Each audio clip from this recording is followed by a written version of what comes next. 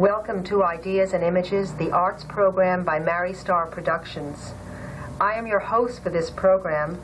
My name is Virginia Walker, and I'm an assistant professor of English at Suffolk County Community College at the Eastern Campus at Riverhead on Long Island. Our guest for this program is the poet and fellow Shelter Islander, Dan Moran. Dan is the author of a book of poetry, Dancing for Victoria, which I've had the pleasure of reading and writing an introductory commentary for. Dan, welcome to Ideas and Images. Thank you for having me. Uh, Dan, we both live on Shelter Island, and I know that I have been affected by the place and even my own writing. And in what way do you think you have been affected by living on Shelter Island? Well, Shelter Island is an unusual place because uh, there are many creative people there, painters and uh, writers as well. And I think just being in that kind of an atmosphere is, uh, um, lends itself to creativity. And uh, I know that many writers uh, will tell you that they enjoy being in the company of other writers, and it, it stimulates them. And I, I definitely find that about Shelter Island. And it's an unusual place to live in general because Yeah. it is an island. Yeah. One of your poems, I think, that you wrote about Shelter Island home fires won an award or was featured in the Pecana Gallery last year. Yes, this, this past year. Um, and I'd like to read it for you if I I'd can. love to hear it. Home fires. I'm looking forward to a place to call home, with a rack by the door to catch my sorry old hat again and again, and a familiar aroma to fill my nostrils.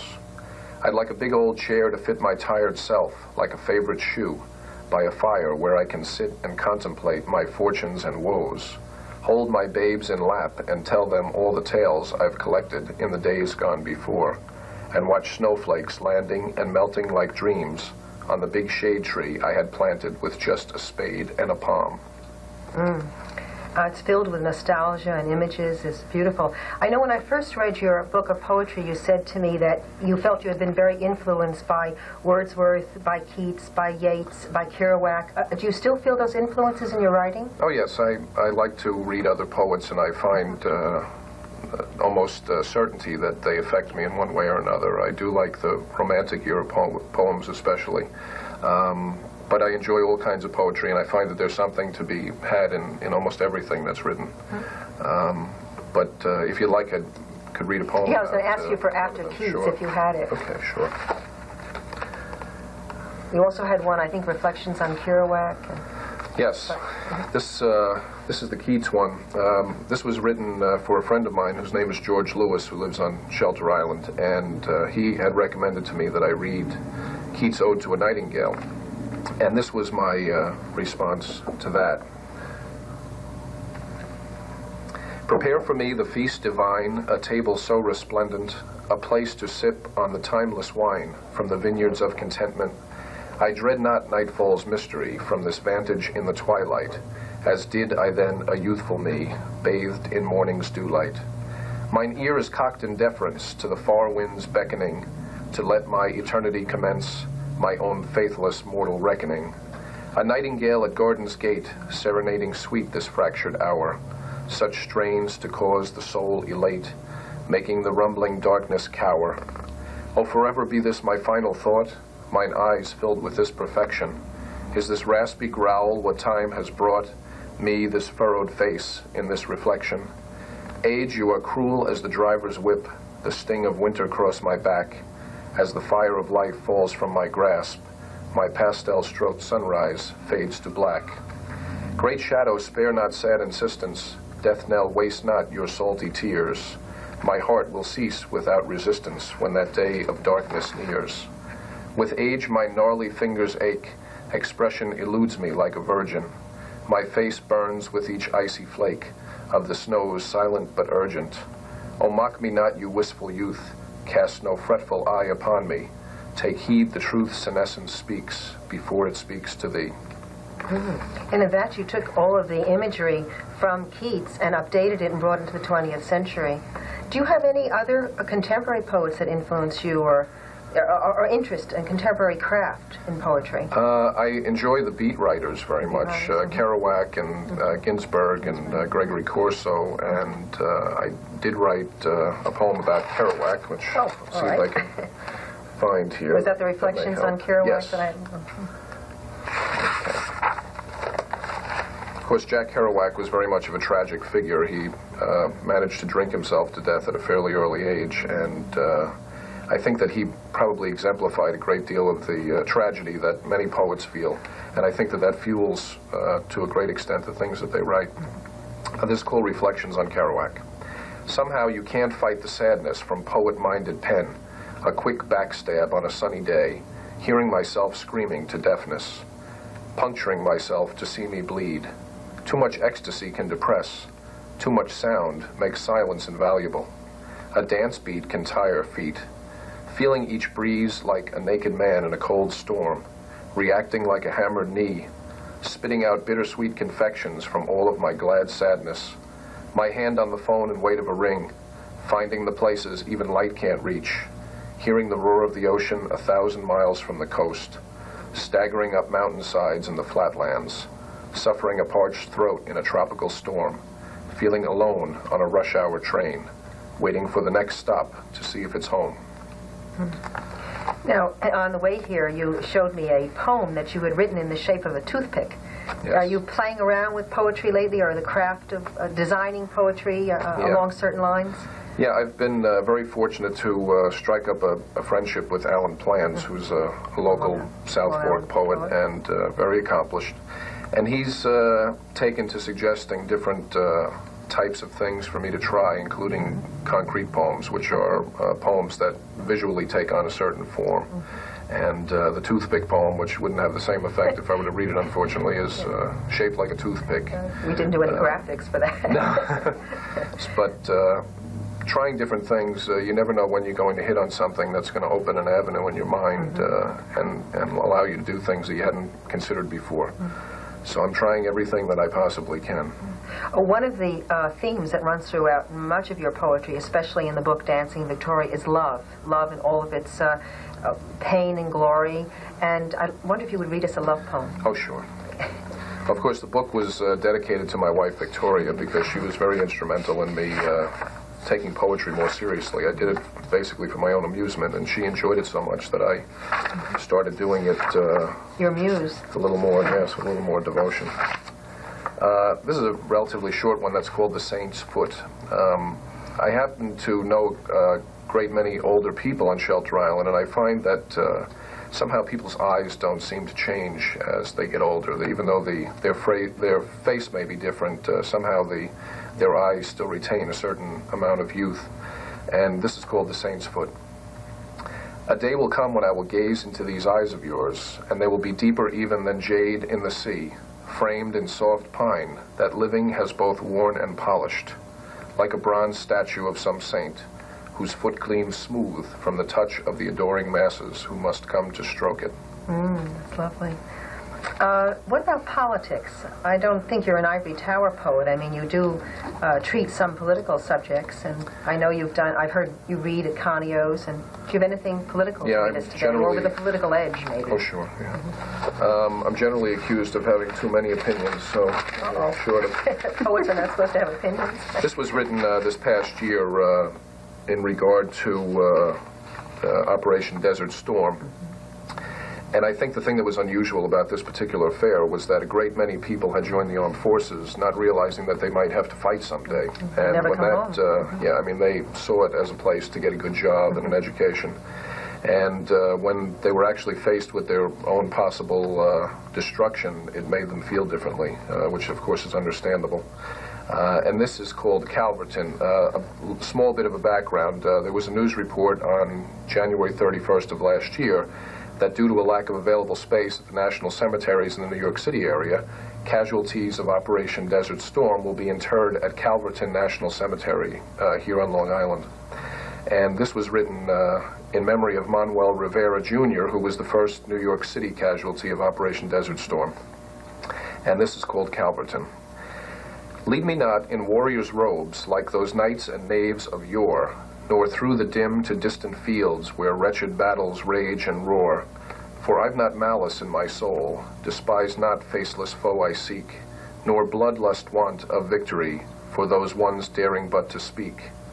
Cast not aside immortal youth as so much chaff upon the breeze, across the mead where devils dwell, against the ire of stormy seas. This duty as this night grows stark, naught but dread keeps me from reason. Sad circumstance, misfortune's spark, sure no greater death than treason.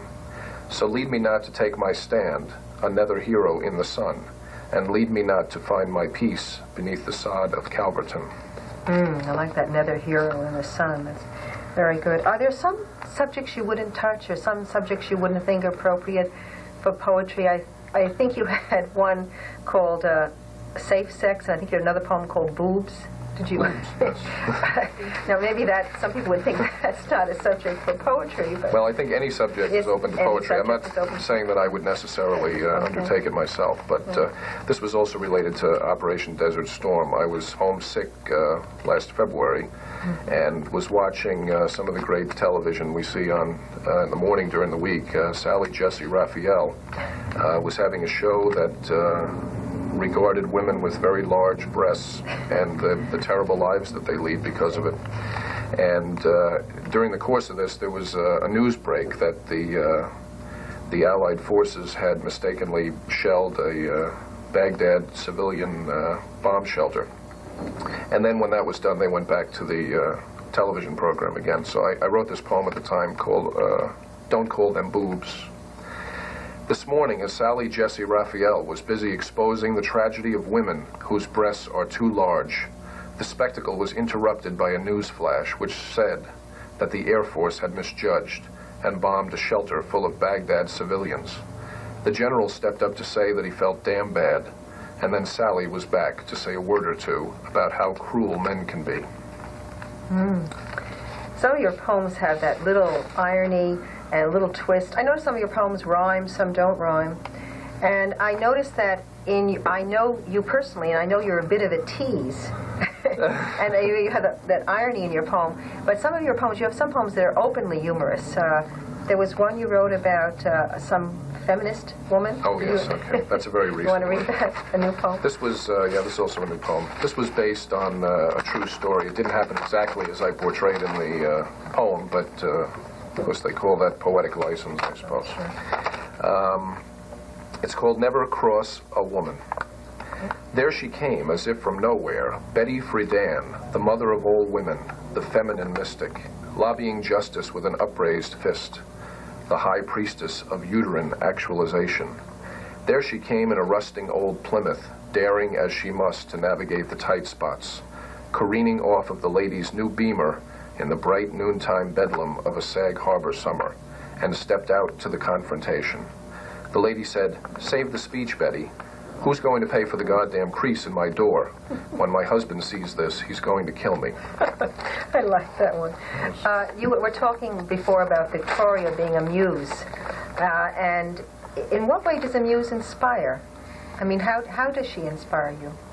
What- What is her? Well, I think just her appreciation of my writing has uh, made me want to do that uh, the beginnings of our relationship. I found it was an easy way to please her to uh, sit down and write something, and I would get great joy out of scribbling something down and then running into wherever she was in the apartment and telling her, um, seeing what she thought about it.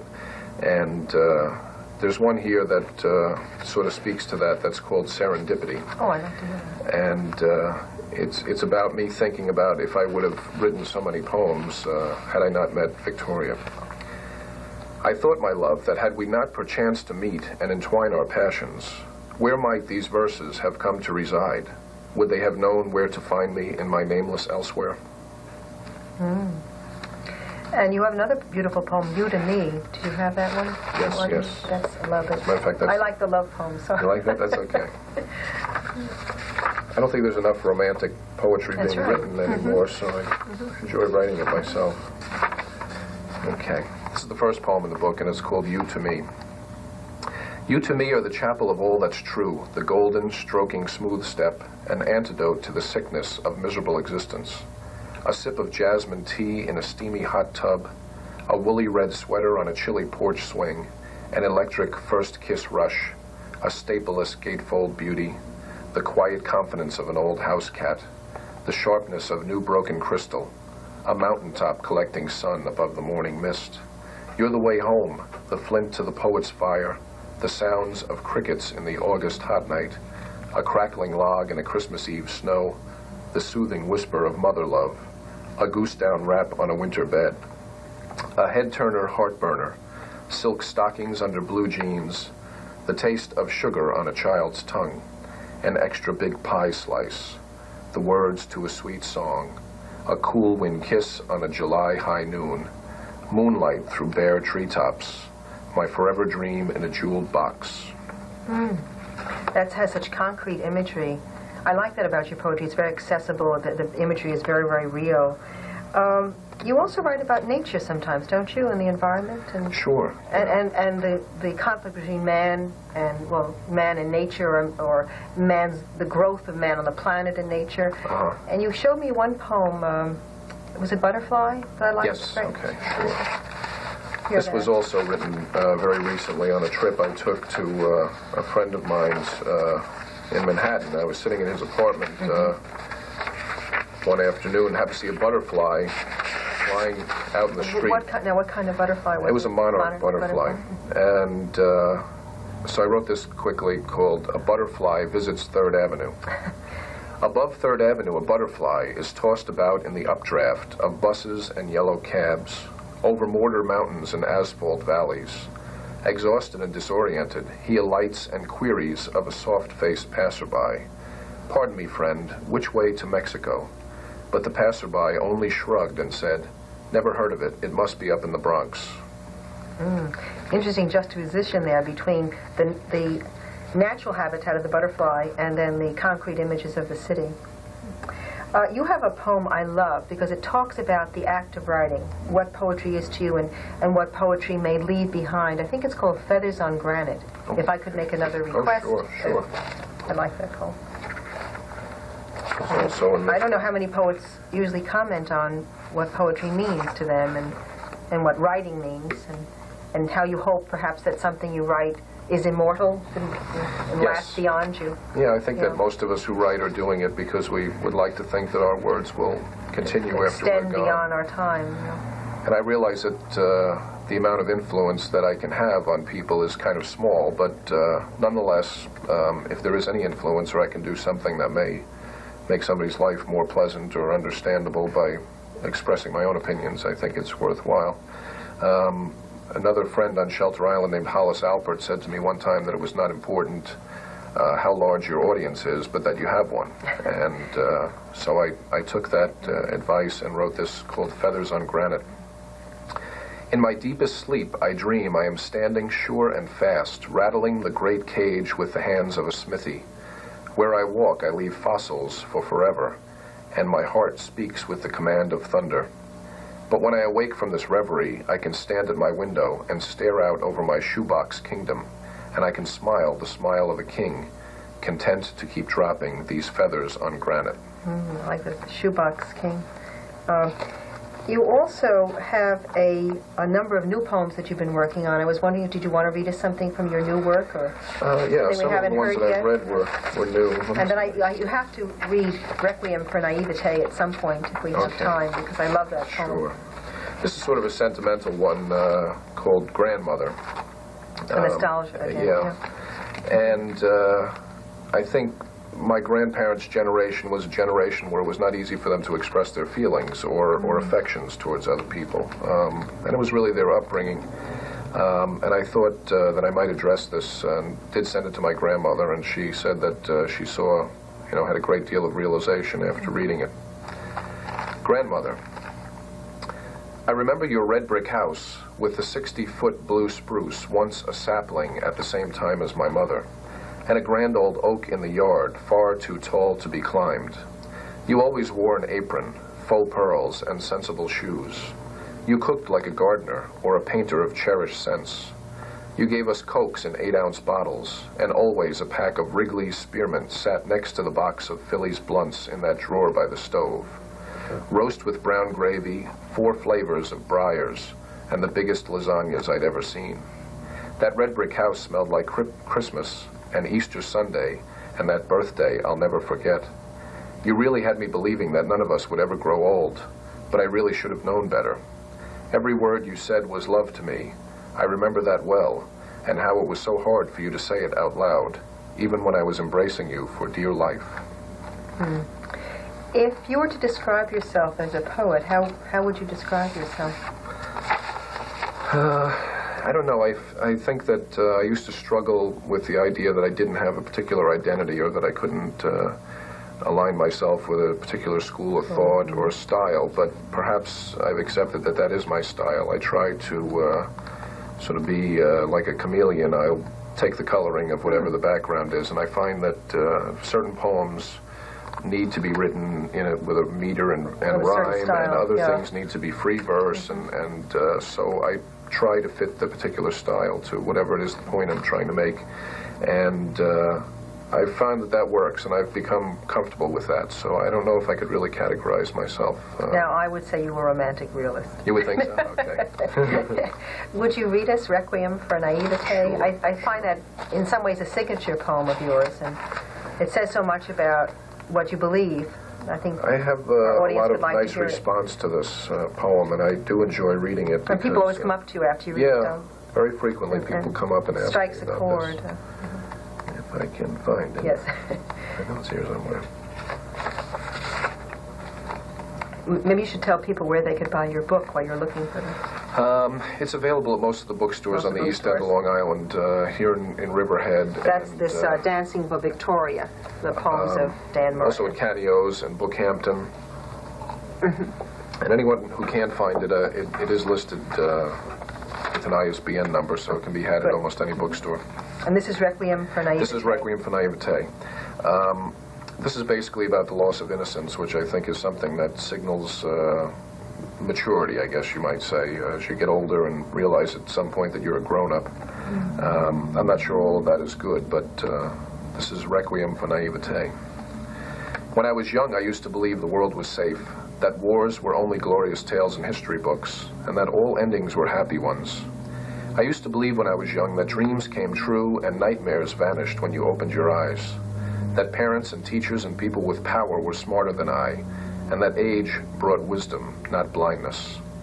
When I was young, things were different. I used to believe innocence brought serenity, that guilt was the essence of purity, that death was a concept from which I was excused, and that recognition came from raising my hand. When I was young, I thought love conquered all, that there was a shoulder offered for every tear, and that no one could say that they loved me and then leave me to die. My world was somewhere else back then. I used to think there was great wealth in copper, that white picket fences need not be electrified, that time could not end before my time was done, and that God was not just born of the desperation of mortality. I used to imagine in my youth that the world ended at the railroad tracks, and that all the insane were locked safely away, that good intentions gave rise to truth, and that tomorrow would come no matter what. When I was young, I thought youth had no value, and that age brought freedom, that suffering was just for saints and sinners, that the fires of hell never lapped up on the shore, and that conscience was what made us human. In those days long ago, I was sure that thunder came from the bowling of angels, that the sky was blue because it was Adam's favorite color, and that there were no real endings, just to be continueds, and if today was bad, tomorrow would be better. When I was young, they told me that lies were evil unless you had reasons, and lust was a great geyser that needed capping, that you could flash guns and knives, but not genitalia, that censors were only looking out for our good, that judges were just and snakes never walked upright. And so too I believed them when they said to my young face that animals were happy in cages, that a rope around the neck was better than being killed by a car. And they said, Ask and it shall be given, and no one could take what was truly mine. That God loves men who build cathedrals among starving children, and that blood is thicker than water until it runs from your veins. When I was young, I was lied to in many tongues. They told me rainbows always follow rain, and that no one was sad on Christmas Day, that scars will always fade with time, and that the road to beyond is the one most traveled. Mm, that's beautiful. And it brings together so many of your thoughts and images about life and the importance of, I guess, doing something now. I mean, if I were to, and, and, and realizing that even though you've lost something, that you can gain something through knowledge. And, Oh, sure. Yeah, I think that uh, you have to, uh, part of growing up is changing your perspectives on things. It doesn't mean that you disregard or, or discard things from the past, but you have to sort of requalify them and make them work in the present. Yeah, you bring in, in your poems, you bring in so much nostalgia, and it, there's a very American quality to your poetry that maybe it's from your influence with the Beats, I don't know, but there's this sense of this is all a new land, and even though there's disappointment, you can make everything new. I get that from your poetry. That's why I see the optimism in your in your poetry all the time. Yeah, I mean, I try to be optimistic. Uh, the poems, uh, some people have read and, and decided were full of tragedy or sadness, and I, I don't see it that way because Yeah. if, if you have those sort of things and you're able to overcome them or, or uh, even to reflect upon them, and uh, it, it doesn't necessarily mean that it's a negative thing. It can be a positive thing as well. And I think that understanding your childhood or the past is an important part of being able to move forward. Uh, and then I should again tell the audience the title of your book is Dancing for Victoria, and they can get it again. Where do Most of the bookstores in the East End East have End it. Uh, bookstores? you should be able to find And where do you usually read if people want to hear you read? More often than not, I read at Canio's, but I've also read at the Old Stump Gallery Stump and uh, the Shelter Island Library and uh, in Well- West Hampton, and uh, so I guess if they look in the anywhere. a Newsday or something like that, they could yeah, find out the Newsday or. Dan's Papers or uh, even Suffolk Life or one of those newspapers. I'm sure the audience will be looking listings. forward to hearing. Um, do you have a very, very, very short poem we could close on? Maybe Sure. very Yes. tiny poem. Let me see. We have time for it.